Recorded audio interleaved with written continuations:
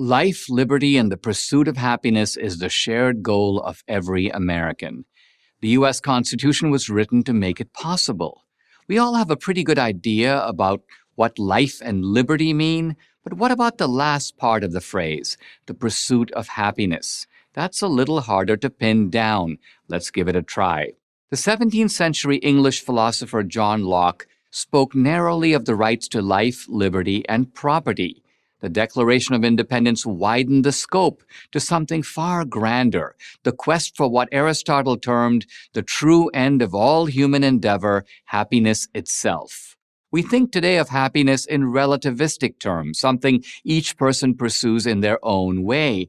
For example, in Shakespeare's Hamlet, Polonius advises Laertes, to thine own self be true. In other words, be yourself. We hear this a lot today. To John Adams, America's second president and a seminal figure in the creation of the country, this was bad advice. For Adams and the founders generally, happiness was a modus vivendi, a way of living expressed by how one conducted oneself, especially in public. Adams understood that people are an imperfect amalgam of the admirable and the abominable. That being yourself does not automatically lead to good character. It's more likely, in fact, to lead to self absorption. The only way to attain a good character is, like everything else, to work at it. The best way to do this, Adams contended, was literally to imagine a noble character. Here we're talking about character like a character in a play, and then strive to become that character. Walk like that character, think like him, feel like him, act like him. Over time, through the result of continual effort and the slow working of habit, one can become that person. Adams practiced what he preached. In this way, he became a public figure, both incorruptible and unfailingly honest. He became the best version of himself. This takes us back to the founders' conception of happiness. They subscribe to the Aristotelian belief that genuine happiness is achieved when the activity of the soul is in perfect harmony with virtue.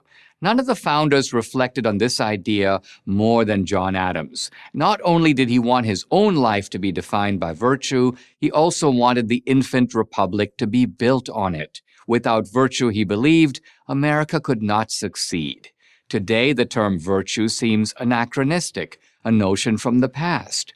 But to Adams, America's survival as a free country depended on it. The preservation of liberty, he wrote, depends on the intellectual and moral character of the people. As long as knowledge and virtue are diffused generally among the body of a nation, it is impossible they should be enslaved.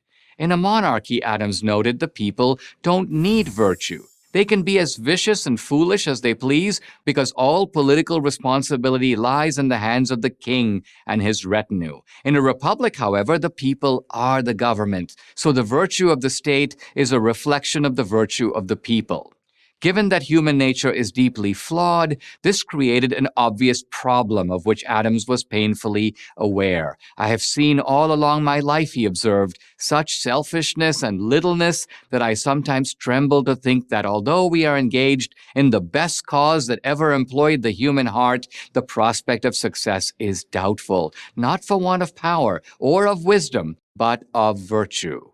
How could the new nation develop a virtuous citizenry? A devout Christian with enormous respect for the Jews and the Hebrew Bible, Adams certainly saw belief in God and fear of his judgment as indispensable. So was a proper education. But he did not think that these were enough. A virtuous government would also be necessary. Here's where a clearly delineated and easily understood constitution would be essential, and no one worked harder than Adams to create one.